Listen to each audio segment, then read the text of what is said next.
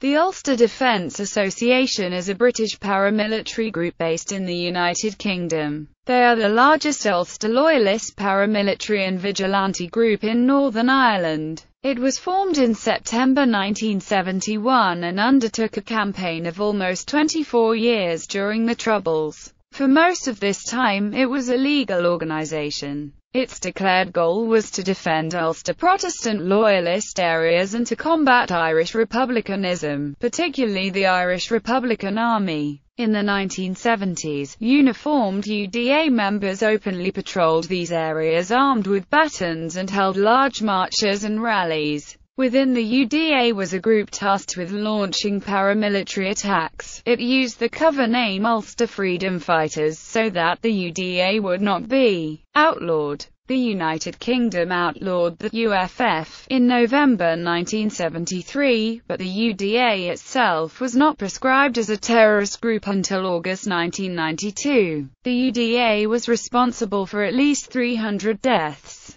The vast majority of its victims were Irish Catholic civilians, killed at random, in what the group called retaliation for IRA actions or attacks on Protestants. High-profile attacks carried out by the group include the Milltown Massacre, the Sean Graham bookmaker shooting, the Castlerock killings and the Greysteel Massacre. Most of its attacks were in Northern Ireland, but from 1972 onward it also carried out bombings in the Republic of Ireland. The UDA declared a ceasefire in 1994 and ended its campaign in 2007, but some of its members have continued to engage in violence. The other main loyalist paramilitary group during the conflict was the Ulster Volunteer Force. History Beginning the Ulster Defence Association emerged from a series of meetings during the summer of 1971 of loyalist, vigilante, groups called defence associations.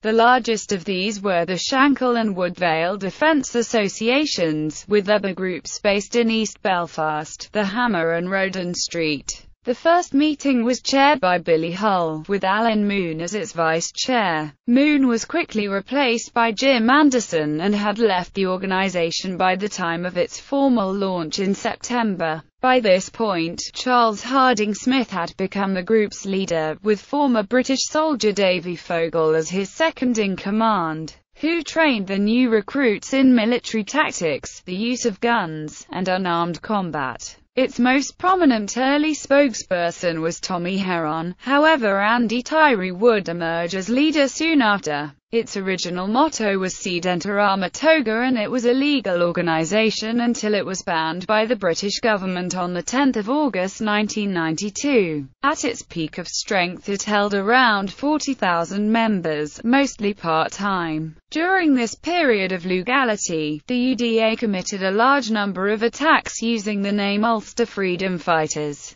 including the assassination of Social Democratic and Labour Party politician Paddy Wilson in 1973. The UDA was involved in the successful Ulster Workers' Council strike in 1974, which brought down the Sunningdale Agreement, an agreement which some unionists thought conceded too much to nationalist demands. The UDA enforced this general strike through widespread intimidation across Northern Ireland. The strike was led by VUPP Assemblyman and UDA member, Glenn Barr. The UDA were often referred to as Wombles by their rivals, mainly the Ulster Volunteer Force. The name is derived from the furry fictional creatures the Wombles, and was given to the UDA because many of its members wore fur-trimmed parkas. Its headquarters is in Gawn Street, off the Newtownards Road in East Belfast, and its current motto is Quis separabit, which is Latin for, who will separate us. Women's units The UDA had several women's units, which acted independent of each other, although they occasionally helped man roadblocks.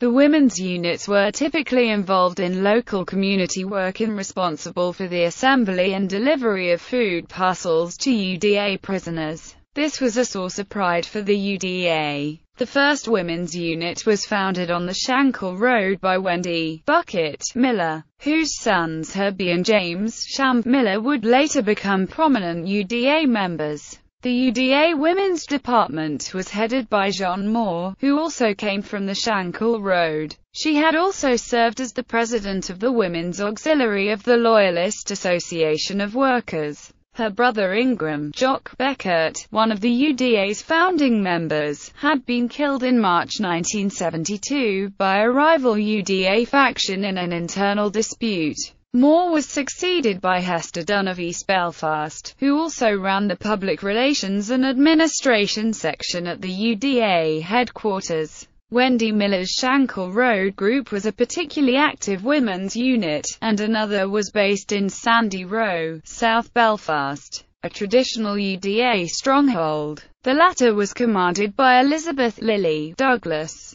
Her teenage daughter, Elizabeth was one of the members. The Sandy Row Women's UDA unit was disbanded after it carried out a vicious, romper room punishment beating on 24 July 1974 which left 32-year-old Anne Ogilby dead. The day of the fatal beating Ogilby was abducted and forced upstairs to the first floor of a disused bakery in Sandy Row that had been converted into a UDA club. Two teenage girls, Henrietta Cowan and Christine Smith, acting under Elizabeth Douglas are orders to give Ogilby a good rompering, punched, kicked, then battered her to death with bricks and sticks. The autopsy later revealed that Ogilby had suffered 24 blows to the head and body. The killing, which was carried out within earshot of Ogilby's six-year-old daughter, caused widespread revulsion throughout Northern Ireland and was condemned by the UDA prisoners serving inside the Maze prison. None of the other UDA women's units had consented to or been aware of the fatal punishment beating until it was reported in the news.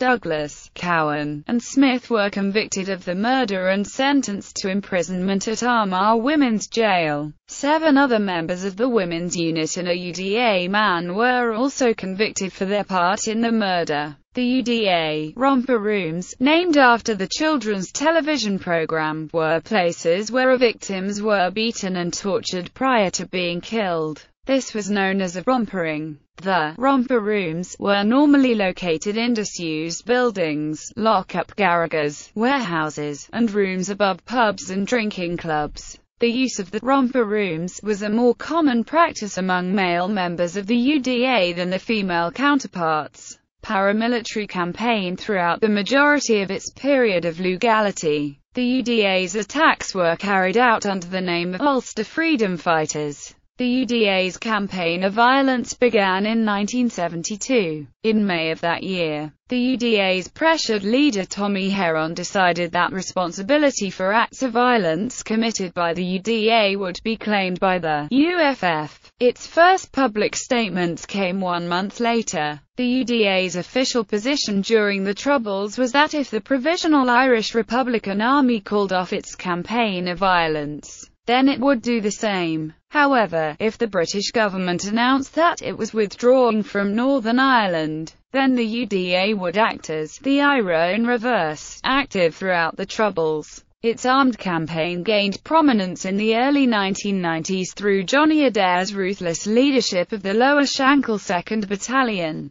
Company, which resulted in a greater degree of tactical independence for individual brigades. C Company's hit squad, led by Stephen McKeague became notorious for a campaign of random murders of Catholic civilians in the first half of the 1990s. They benefited, along with the Ulster Volunteer Force, and a group, called Ulster Resistance, from a shipment of arms imported from Lebanon in 1988. The weapons landed included rocket launchers, 200 rifles, 90 pistols and over 400 grenades. Although almost two-thirds of these weapons were later recovered by the Royal Ulster Constabulary, they enabled the UDA to launch an assassination campaign against their perceived enemies. North Belfast UDA Brigadier Davy Payne was arrested after his scout car had been stopped at a RUC checkpoint and large caches of the weaponry were discovered in the boots of his associates' cars. He was sentenced to 19 years in prison. In 1992 Brian Nelson, a prominent UDA member convicted of sectarian killings, revealed that he was also a British Army agent. This led to allegations that the British Army and RUC were helping the UDA to target Irish Republican activists. UDA members have since confirmed that they received intelligence files on Republicans from British Army and RUC intelligence sources. One of the most high-profile UDA attacks came in October 1993, when three masked men attacked a restaurant called the Rising Sun in the predominantly Catholic village of Greysteel, County Londonderry, where 200 people were celebrating Halloween. The two men entered and opened fire. Eight people, including six Catholics and two Protestants were killed and 19 wounded in what became known as the Greysteel Massacre. The UFF claimed the attack was in retaliation to the IRA's Shankill Road bombing, which killed nine people seven days earlier. According to the Sutton database of deaths at the University of Ulster's CAIN project, the UDA was responsible for 259 killings during the Troubles. 208 of its victims were civilians, 12 were civilian political activists, 37 were other loyalist paramilitaries, 3 were members of the security forces and 11 were Republican paramilitaries. A number of these attacks were carried out with the assistance or complicity of the British Army, the RUC, or both, according to the Stevens inquiry. Although the exact number of people killed as a result of collusion has not been revealed, the preferred modus operandi of the UDA was individual killings of civilian targets in nationalist areas, rather than large-scale bomb or mortar attacks. The UDA employed various code words whenever they claimed their attacks. These included the Crucible, Titanic, Ulster Trebles, and Captain Black. Post-ceasefire activities Its ceasefire was welcomed by the Northern Ireland Secretary of State, Paul Murphy and the Chief Constable of the Police Service of Northern Ireland, Hugh Orde. Since the ceasefire, the UDA has been accused of taking vigilante action against alleged drug dealers, including tarring and feathering a man on the Taughmonagh estate in South Belfast. It has also been involved in several feuds with the UVF, which led to many killings. The UDA has also been riddled by its own internecine warfare, with self-styled brigadiers and former figures of power and influence such as Johnny Adair and Jim Gray, falling rapidly in and out of favor with the rest of the leadership. Gray and John Gregor amongst those to have been killed during the internal strife. On the 22nd of February 2003, the UDA announced a 12-month period of military inactivity. It said it would review its ceasefire every three months. The UPRG's Frankie Gallagher has since taken a leading role in ending the association between the UDA and drug dealing, following an August 2005 Sunday World article that poked fun at the gambling losses of one of its leaders. The UDA banned the sale of the newspaper from shops in areas it controls. Shops that defy the ban have suffered arson attacks, and at least one newsagent was threatened with death. The police service of Northern Ireland began accompanying the paper's delivery vans. The UDA was also considered to have played an instrumental role in loyalist riots in Belfast in September 2005. On 13 November 2005 the UDA announced that it would consider its future. In the wake of the standing down of the Provisional IRA and Loyalist Volunteer Force, in February 2006, the Independent Monitoring Commission reported UDA involvement in organized crime, drug trafficking, counterfeiting, extortion, money laundering and robbery. On 20 June 2006, the UDA expelled Andre Shoukri and his brother Ihab, two of its senior members who were heavily involved in organized crime. Some saw this as a sign that the UDA was slowly coming away from crime. The move did see the Southeast Antrim Brigade of the UDA, which had been at loggerheads with the leadership for some time, support Shoukri and break away under former UPRG spokesman Tommy Kirkham. Other senior members met with Taoiseach Bertie Ahern for talks on 13 July in the same year. On the 11th of November 2007 the UDA announced that the Ulster Freedom Fighters would be stood down from midnight of the same day, with its weapons being put beyond use, although it stressed that these would not be decommissioned. Although the group expressed a willingness to move from criminal activity to community development, the IMC said it saw little evidence of this move because of the views of its members and the lack of coherence in the group's leadership as a result of its decentralized structure. While the report indicated the leadership intends to move towards its stated goals, factionalism hindered this change and was the strongest hindrance to progress. Although most loyalist actions were curtailed since the IMC's previous report, most of loyalist paramilitary activity was coming from the UDA. The IMC report concluded that the leadership's willingness to change has resulted in community tension and the group would continue to be monitored, although the mainstream UDA still has some way to go. Furthermore, the IMC warned the group to recognize that the organization's time as a paramilitary group has passed and that decommissioning is inevitable. Decommissioning was said to be the biggest outstanding issue for loyalist leaders. Although not the only one, on 6 January 2010, the UDA announced that it had put its weapons verifiably beyond use. The decommissioning was completed five weeks before a government amnesty deadline beyond which any weapons found could have been used as evidence for a prosecution. The decommissioning was confirmed by Canadian General John de Chastelain, chairman of the Independent International Commission on Decommissioning,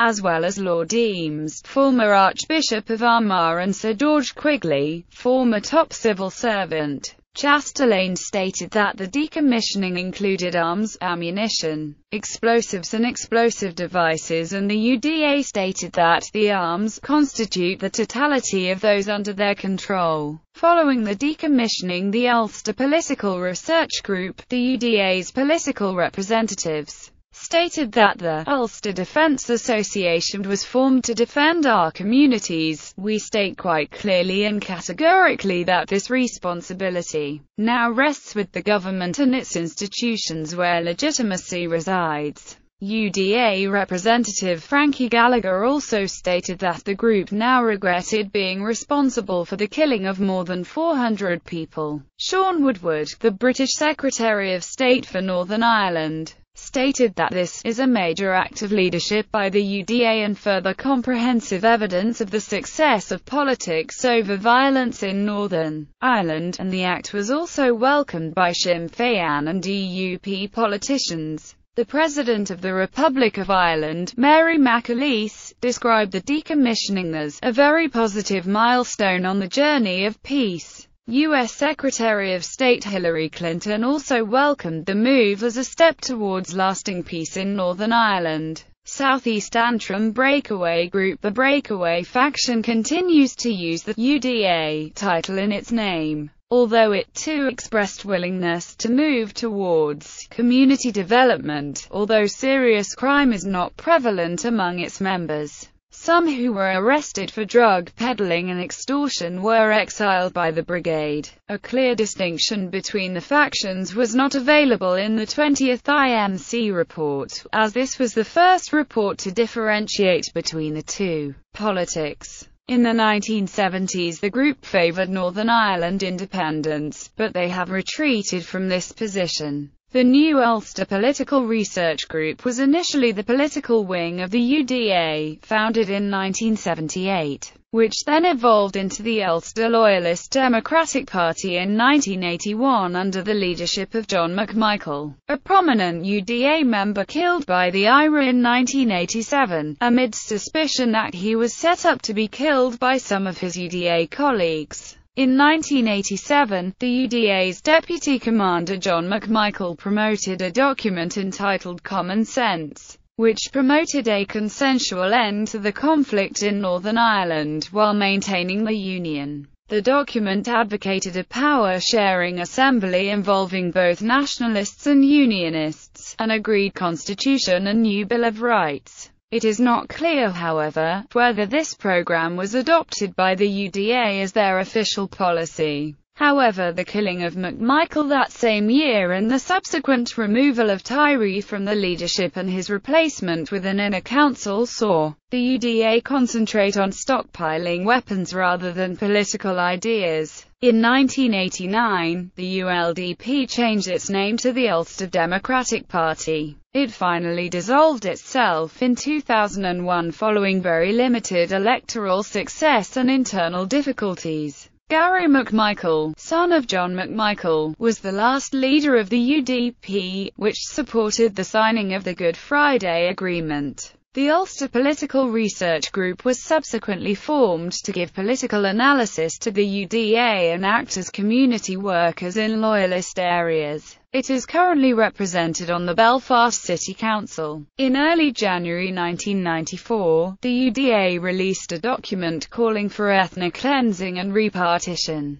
with the goal of making Northern Ireland wholly Protestant. The plan was to be implemented should the British Army withdraw from Northern Ireland. Areas in the south and west with strong Catholic, nationalist majorities would be handed over to the Republic, and those Catholics left stranded in the Protestant state would be expelled, nullified, or interned. The story was printed in the Sunday Independent newspaper on 16 January. The Doomsday Plan was based on the work of Dr. Liam Kennedy, a lecturer at Queen's University Belfast who in 1986 had published a book called Two Ulsters, a case for repartition although it did not call for ethnic cleansing. The UDP's Raymond Smallwood said, I wasn't consulted but the scenario set out is a perfectly plausible one. The DUP's Sammy Wilson stated that the plan shows that some loyalist paramilitaries are looking ahead and contemplating what needs to be done to maintain our separate Ulster identity.